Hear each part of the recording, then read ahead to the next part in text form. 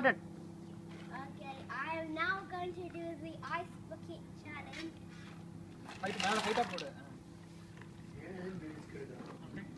Give that on the floor, please. Wait. I nominate my cousin, my dad,